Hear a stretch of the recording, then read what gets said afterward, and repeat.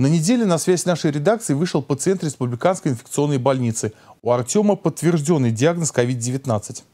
За сутки до эфира его перевели из реанимационной в обычную палату, то есть самая тяжелая и опасная стадия заболевания для него, надеюсь, позади. Артем первым из зараженных коронавирусом в Мордовии согласился рассказать свою историю и показать зрителям нашей программы инфекционку изнутри. Павел Степаненко изучил историю болезни.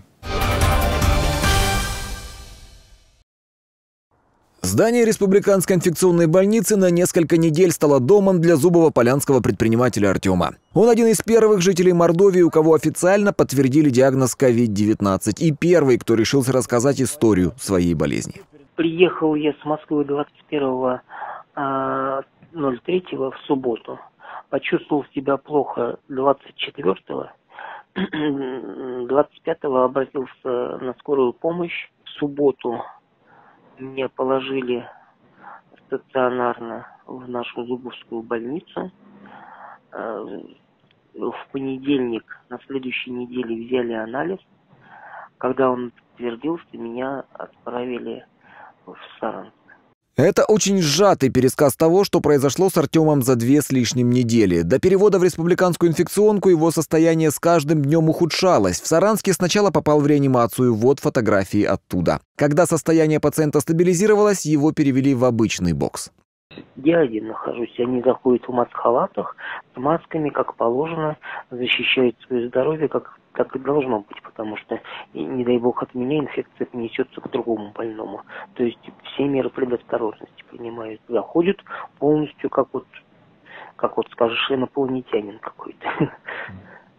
О том, как организована работа больницы, нам рассказывал ее главный врач. Это было 27 марта, в день, когда в Мордовии появились первые двое подтвержденных больных. Тогда Сергей Чванов ответил на множество вопросов, в том числе и о том, как обеспечивается контроль за соблюдением режима изоляции.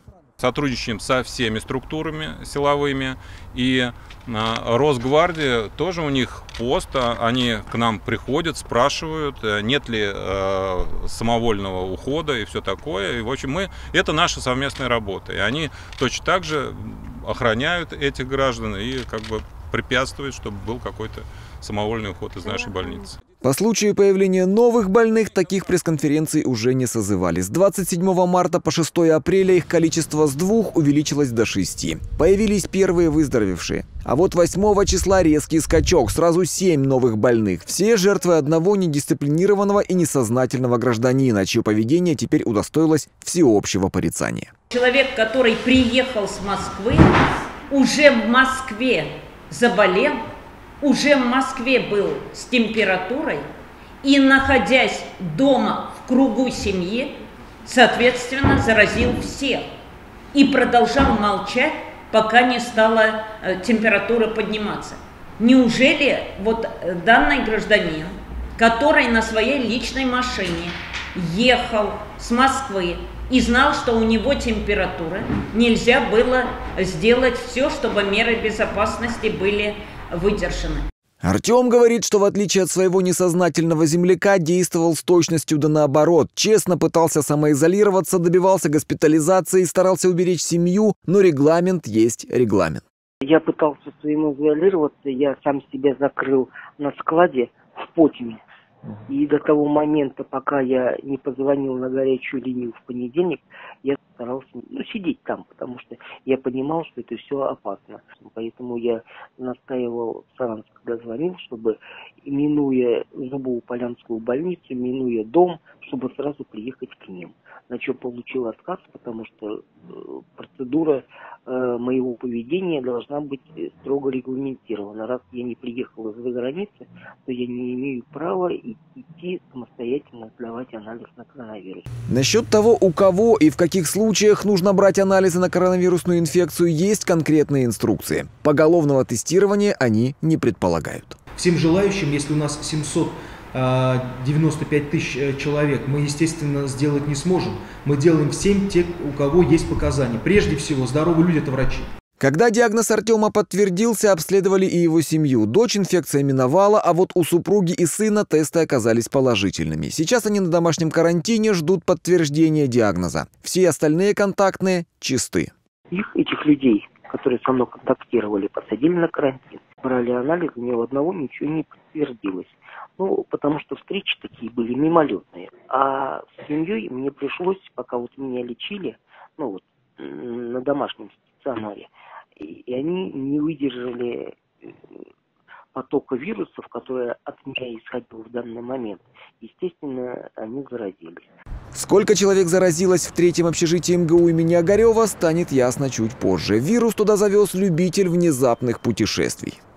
Это студент-иностранец, он нарушил э, режим, выехав 24 числа в город Москву, 25 он уже вернулся, никого не поставил в известность о том, что он выезжал, потому что, выходя из общежития, он сказал, что идет в магазин, э, вернулся, не поставил э, в известность администрацию общежития, переносил, по всей вероятности, свое заболевание в легкой форме. Сейчас общежитие на карантине. 275 студентов и обслуживающий персонал живут в режиме строгой изоляции. Благо условия позволяют. Третье общежитие позволяет нам обеспечить эту самоизоляцию, потому что в каждой комнате есть санузел. Угу. Да, и ребятам нет необходимости выходить за пределы комнаты. А, питание им доставляется непосредственно а, к порогу а, комнаты, поэтому вот полная изоляция в этом плане, она имеет место. В республике тем временем готовились к худшему сценарию. В инфекционной больнице монтировали дополнительную систему подачи кислорода в палаты, чтобы количество мест с доступом к нему достигло 210. Даже по выходным работали круглосуточно. В ночь сегодня будет 7 человек, реанимация заканчивается и завтра добиваем все полностью блок. Здесь готовятся подрезервные, э, здесь рампы для кислорода и резервные баллоны. Площадку готовим. Статус дополнительного госпиталя по лечению больных с коронавирусной инфекцией теперь имеет Рузаевская ЦРБ. Там тоже смонтировали систему подачи кислорода. Здесь у нас планируется разделение э, грязной зоны на чистую, все продумано. Значит, э, будут ставиться перегородки, и, в принципе, подводка кислорода уже начата по этим этажам. Сколько всего коек будет? Значит, у нас, у нас а, в этом а, э, Рузаевской больнице планируется 200 коек. И из них 147 будут с подводкой кислорода.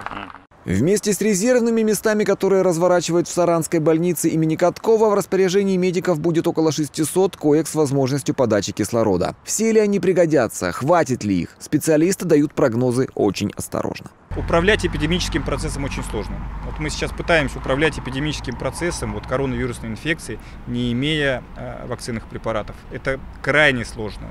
Я не думаю, что это будет легко. Я не думаю, что это будет быстро в течение недели, двух, трех думаю, что это все-таки будет больше промежуток времени.